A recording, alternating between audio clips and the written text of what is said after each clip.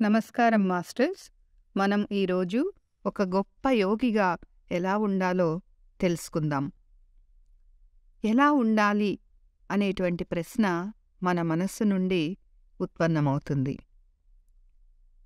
ఒక గొప్ప యోగిగా ఉండు అనేటువంటి సమాధానం మన ఆత్మ మనకిస్తుంది. ఒక గొప్ప యోగిగా అయ్యే మార్గంలో ఐదు స్థాయిలు ఉంటాయి. అవి మనం ఇప్పుడు తెలుసుకుందాం. మొదటి స్థాయి ధ్యానిగా ఉండటం రెండవది యోగిగా మారటం మూడవది ఋషిగా పరిణితి చెందటం నాలుగవ స్థాయి రాజర్షిగా ఉండటం ఐదవ స్థాయి బ్రహ్మర్షిగా మారటం. ఒక ధ్యాని ధ్యానంలో వచ్చేటువంటి ఎన్నో ఇబ్బందులను ఎదుర్కొంటూ శారీరక నొప్పులను మానసికంగా ఎన్నో ఆలోచనలను వస్తున్నా కూడా పట్టించుకోకుండా స్థిరంగా ధ్యానంలో ఉంటూ ధ్యానం చేస్తాడు. ప్రతిరోజు క్రమం తప్పకుండా ఎన్ని ఇబ్బందులు ఉన్నా స్థిరమైన సంకల్పంతో ధ్యానం చేస్తూ ఉంటాడు. నలభై ఒక్క రోజులు ఇలా ధ్యానం చేశాక యోగి స్థాయికి వెళ్తాడు. యోగి తన మనస్సును స్థిరంగా ఉంచుతాడు. నాడీమండల శుద్ధీకరణ తర్వాత మనస్సు స్థిరంగా ఉంచుకొని యోగిగా మారతాడు. యోగి తన మనస్సు మీద సంపూర్ణ స్వాధీనాన్ని కలిగి ఉంటాడు. మనస్సులో ఎటువంటి ఆలోచనలను ఉంచుకోడు. అలా ఆలోచనరహి ఆలోచనారహిత స్థితిని ఉంచుకోవడమే సాధన యొక్క ఉద్దేశం. ఆ స్థితిని పొందటం మొదటి స్థాయి. ఆ స్థితిలో ఎల్లప్పుడూ స్థిరంగా ఉండటం రెండవ స్థాయి. ఒక గొప్ప గొప్ప యోగిగా ఉండాలంటే మనస్సులో ఎటువంటి ఆలోచనలు లేకుండా ఆ స్థితిని పొందిన తర్వాత స్థిరంగా ఇప్పుడు ఆ స్థితిలో ఉండటం అనేది చాలా శ్రమతో కూడినటువంటి సాధన. ఎప్పుడు ధ్యానం చేస్తూ ఉంటే మనకు ఆ స్థితి లభ్యమవుతుంది. చాలా స్వచ్ఛమైనటువంటి ఆలోచనలు లేకుండా ఎలాంటి ఆలోచనలు లేకుండా స్వచ్ఛమైనటువంటి స్థితిలో ఉండగలిగితే అదే గొప్ప యోగి స్థితి. యోగి తన మనస్సుతో పాటు పంచేంద్రియాలను కూడా వశంలో పెట్టుకొని ఉంటారు. ధ్యాన స్థాయిలో అలా ఉండటానికి ప్రయత్నం మొదలు పెడతాం కానీ యోగి స్థాయి చేరినప్పుడు అది పరిపూర్ణంగా సాధ్యమే. మూడవ స్థాయి ఋషి. ఋషికి థర్డ్ ఐ జ్ఞాననేత్రం విప్పారుతుంది. జ్ఞాననేత్రం మనస్సు వశమైనప్పుడు మాత్రమే విప్పారుతుంది. ఋషికి జ్ఞాననేత్రం తెరుచుకున్నప్పుడు అన్ని విషయాలు బోధపడతాయి. ఇతర డైమెన్షన్స్ కూడా తెలుస్తాయి. మనస్సు కంటే అతీతంగా వెళ్ళగలగాలి. అప్పుడే థర్డ్ ఐ ఓపెన్ అవుతుంది.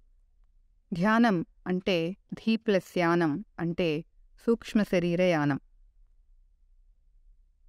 ఆస్ట్రల్ ట్రావెల్ జరిగినప్పుడు మనము వేరే డైమెన్షన్స్ని థర్డ్ ఐతో మాత్రమే చూడగలం. అప్పుడే రిషి స్థాయిని చేరగలుగుతాం. అప్పుడు మనం రంగులను వేరే ఫ్రీక్వెన్సీలో ఉన్నటువంటి మాస్టర్స్ని కూడా చూడగలుగుతాం. రోగులను ఫ్యూచర్ని అర్త్ని ఇంకా ఎన్నో విషయాలు మనకు థర్డ్ ఐ ద్వారా అవగతమవుతాయి. ఈ ఫిజికల్ ఐస్ ఏవైతే చూడలేవో అవన్నీ మనం థర్డ్ ఐ ద్వారా చూడగలుగుతాం. ఋషి దశకు వెళ్ళాలంటే ముందుగా యోగిగా స్థిరపడాలి. యోగిగా అవ్వాలంటే ధ్యానిగానే మొదలుపెట్టాలి. ఇది నిరంతర సాధన. ధ్యానిగా మొదలుపెట్టాక అలా జరుగుతూనే ఉంటుంది. మనకు తెలిసినా తెలియకపోయినా మెల్లిగా ధ్యానిగా మొదలై బ్రహ్మర్షి వరకు మన ప్రయాణం కొనసాగుతుంది. ఇది చాలా నిదానంగా జరుగుతుంది. కానీ నిరంతరం సాగుతూ ఉంటుంది. మనం వేరొకరి పూర్వజన్మలు చూసినప్పుడు మన పూర్వజన్మ దర్శించినప్పుడు మన అనుభూతి చాలా వేరే విధంగా ఉంటుంది. ముందుగా ధ్యానం మొదలుపెట్టాక ఋషిస్థితి చేరటానికి మన కర్మలన్నీ పూర్తిగా ప్రక్షాళనం అవ్వాలి. తెలుసో తెలియకో మనం ఎన్నో కర్మలు చేశాం. ఇన్ని తెలిసాక కూడా ఇంకా మనం బ్యాడ్ కర్మలు చేస్తే మనకు కలిగేటువంటి పరిణామాలు చాలా వ్యతిరేకంగా ఉంటాయి. ఒక్కసారి ధ్యానిగా ప్రయాణం మొదలుపెట్టాక మన పంచేంద్రియాలను చాలా జాగ్రత్తతో వ్యవహరించాలి. మనం చూసే ప్రతిదీ వినే ప్రతి అంశం తినేటువంటి ఆహారం అన్నీ కూడా సరి అయిన పద్ధతిలోనే ఉండాలి. అలా కాకుండా మనం అనవసరంగా చెడు కర్మలలో పెంచుకుంటే మనం తప్పకుండా వాటిని అనుభవించటానికి పునర్జన్మలు తీసుకుంటూనే ఉండాల్సి వస్తుంది. ఆధ్యాత్మిక సేవలో మనం ఇతరులకు వాళ్ళ ఆధ్యాత్మిక పురోగతికి సహాయం చేస్తాం కాబట్టి మన కర్మలన్నీ ప్రక్షాళన అవుతాయి. ఆధ్యాత్మిక సేవ ఎంతో ఉన్నతమైనది. ఆధ్యాత్మిక సేవ గురించి తెలుసుకోవాలన్నా చేయాలన్నా మనకు శక్తి చాలా అవసరం. అందుకే ప్రతిరోజు ధ్యానం తప్పకుండా చేయాలి. కొంతమంది సహస్రార స్థితిలో ఉంటారు. వాళ్ళు ధ్యానంలో కూర్చోగానే అమితమైన ఆనందంలో ప్రవేశిస్తారు. కానీ వాళ్ళు ఏం విజన్స్ రావటం లేదని బాధపడుతూ ఉంటారు. ఏ రంగులు కనిపించలేదని ఏ అనుభవాలు రావటం లేదని అనుకుంటూ ఉంటారు. కానీ వారికి అవసరం లేదు. వారు ఈ స్థాయిని దాటి ఆనందంలోనే ఉన్నారు. కాబట్టి ఇతర అనుభవాలు అవసరం లేదు. ఎవరైనా విశుద్ధ చక్రంలో ఉన్నప్పుడు వారికి ఎన్నో బాధలు కలుగుతూ ఉంటాయి. అవి ధ్యానం ద్వారా తొలగిపోతూ ఉంటాయి. మనం చేసినటువంటి కర్మలన్నీ కూడా విశుద్ధంలోనే ఉంటాయి. అది ప్రక్షాళన అయ్యాకనే ఆజ్ఞాచక్రానికి వెళ్తారు. కర్మ ప్రక్షాళనం జరగకుండా మూడవ కన్ను తెరుచుకుంటే చాలా ఇల్యూషన్స్ కలుగుతాయి. లోయర్ డైమెన్షన్ వరల్డ్స్ని చూడాల్సి వస్తుంది అందుకనే మెడిటేషన్లో షార్ట్ కట్స్ ఎప్పుడు తీసుకోకూడదు. ముందుగా మన బేస్ చక్రాలు అన్నీ క్లీన్ అయ్యాక కర్మ ప్రక్షాళన జరిగాక అప్పుడు థర్డ్ ఐ ఓపెన్ అయితే హయ్యర్ వరల్డ్స్తో మనం కనెక్ట్ అవుతాం. లేకపోతే లోయర్ వరల్డ్స్లో చూసి చాలా ఇల్యూషన్స్ కలుగుతాయి. అది మనకు మంచిది కాదు. థర్డ్ ఐ సహజంగా ఓపెన్ అవ్వాలి. మనం బలవంతంగా ఓపెన్ చేస్తే ఒక దొంగ బా తలుపుని బద్దలు కొట్టినట్టుగా ఉంటుంది. అందుకనే స్లోగా అయినా సరే న్యాచురల్గా అన్ని కర్మ ప్రక్షాళన చేశాకనే మూడవ కన్ను విప్పారటం మంచిది. మూడవ కన్ను సహజంగా తెరుచుకుంటే మన ఇల్లు తలుపు మనమే న్యాచురల్గా తీసినట్టు. అప్పుడు అది స్థిరంగా ఉంటుంది. మరి గొప్ప యోగిగా ఎలా ఉండటం? పత్రిజీ గారు పద్దెనిమిది సూత్రాలని మనకు ఇచ్చారు. ఆ సూత్రాలు ప్రతి ఒక్కరూ మంత్కి ఒక నెలకి కనీసం ఒక్కసారైనా చదవాలి. నేను ఎప్పుడూ అవి చదువుతూ ఉంటాను. ఇంకా ఎలా దీన్ని ఇంకా బాగా ఎలా ఆచరించాలి అని నేను ఎప్పుడూ ఆలోచిస్తూ ఉంటాను. నేనేమన్నా కొత్తగా పంతొమ్మిదవ సూత్రాన్ని యాడ్ చేశానా? లేకపోతే ఏదైనా ఒకదాన్ని స్కిప్ చేశానా అని ఎప్పుడు ఆత్మపరిశీలన చేసుకుంటూ ఉంటాను. నేనందరికీ చెప్తాను ఆ పద్దెనిమిది సూత్రాలు మాత్రమే పాటించండి. ఏవి పాటించకుండా ఉండకండి అలాగే కొత్తవి కూడా యాడ్ చేయకండి. కావలసినంత పరిశోధన ఇంతకు మునిపే చేయబడింది. మనం సరి అయిన ధ్యానాన్ని ప్రతిరోజు చేయాలి. అప్పుడే గొప్ప యోగిగా మారుతాం. ప్రతిరోజు ఆధ్యాత్మిక పుస్తకాలను చదవాలి. మన అనుభవాలని ఇతరులతో పంచుకోవాలి. అవి మనతోనే ఉంచుకోకూడదు. సీక్రెట్గా ఉంచుకోకూడదు. మన అనుభవాలని మెడిటేషన్ చేయని వాళ్ళతో పంచుకుంటే వాళ్ళకేమీ అర్థమవ్వదు. అవి మన భ్రమ అని వారు అనుకోవచ్చు. ఈ సెషన్ స్టార్ట్ చేయడానికి ముందే నాకు ఎవరో ఒకతను టెన్ పేరాగ్రాఫ్స్లో నన్ను తిడుతూ మెసేజ్ పెట్టారు. కానీ అతని గురించి నాకు ఎటువంటి చెడు అభిప్రాయము లేదు. ఎందుకంటే అతను అజ్ఞానంలో ఉన్నాడు కాబట్టి. అతను ధ్యాని కాదు. అతనికి థర్డ్ ఐ ఓపెన్ అవ్వలేదు. అందుకనే అలా మాట్లాడాడు. మనం దానికి రియాక్ట్ అవ్వకూడదు.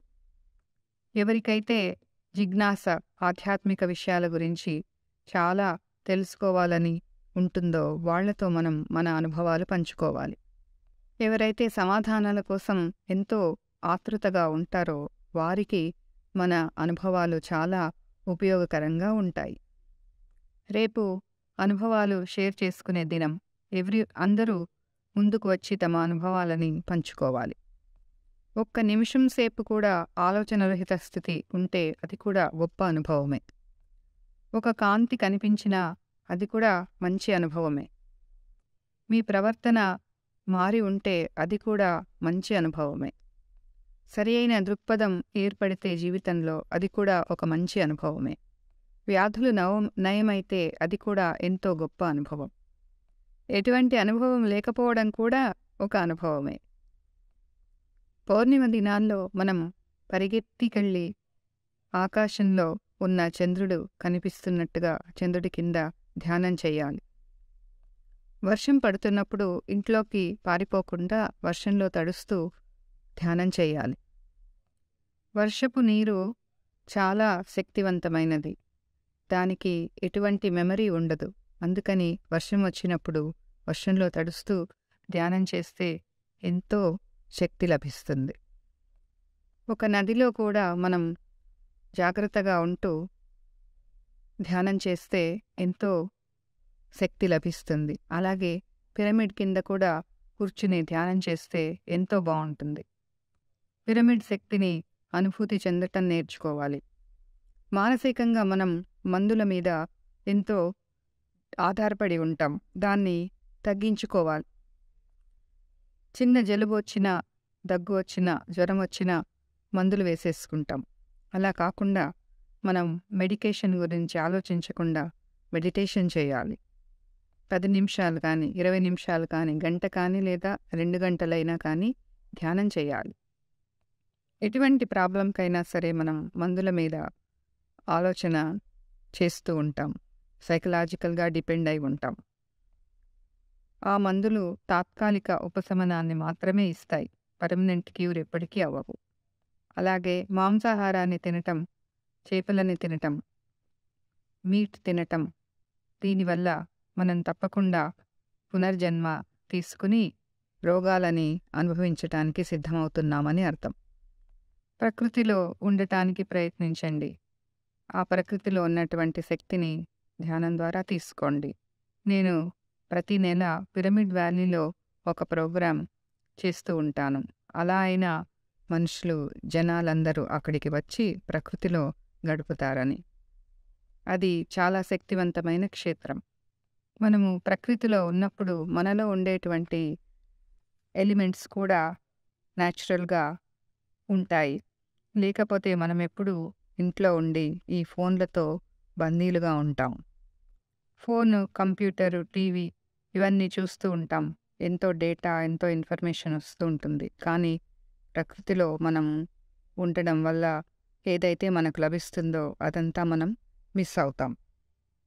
స్పెషల్గా ఉండేటువంటి ఎటువంటి వస్తువులు కూడా ధరించాల్సిన అవసరం లేదు. రుద్రాక్ష కానీ ఇతరుల ఇతరమైనటువంటివి కానీ. రుద్రాక్ష చాలా మంచి క్రిస్టల్. కానీ నేను చాలా గొప్ప నువ్వు వేరే అని చూపించటానికి వేసుకుంటే ఏమీ ఉపయోగం లేదు. ప్రత్యేకమైన వస్త్రధారణ నేను గొప్ప అని చాటి చెప్పే విధంగా ఉంటే అది ఏమీ ఉపయోగపడదు. చిన్నప్పటి నుండే పిల్లలకి కూడా మెడిటేషన్ చేయటం నేర్పాలి. వాళ్ళకి చెప్పటం చాలా సులువు. వేరే పిల్లలకి చెప్పటం కూడా ఎంతో సులువు కానీ మన పిల్లలకి చెప్పటం కష్టంగా అనిపిస్తుంది. మీ పిల్లలు ధ్యానం చేయాలంటే మీరు మీ పొరుగు వారి పిల్లల్ని కూడా తీసుకొచ్చి వాళ్ళతో పాటు ధ్యానం చేయించండి. అప్పుడు మీ పిల్లలు కూడా చేయటానికి ఇష్టపడతారు. మేము స్కూల్కి వెళ్ళినప్పుడు టీచర్స్కి మెడిటేషన్ చెప్తాం. ఎందుకంటే వాళ్ళు రోజంతా పిల్లలతో అక్కడ గడుపుతారు కాబట్టి. వాళ్ళు రెండు నిమిషాలు మెడిటేషన్ చేయటం నేర్పిస్తే పిల్లలు కూడా చేసి చక్కగా ఎంతో చక్కగా మార్కులు తీసుకొస్తారు. ఒక శిష్యుడిలాగా కాకుండా మాస్టర్లాగా జీవించడం నేర్చుకోవాలి. వేరే వారి మీద ఆధారపడకూడదు. మన పర్సనల్ ప్రాబ్లమ్స్ అన్నీ కూడా మెడిటేషన్ ద్వారానే అధిగమించాలి.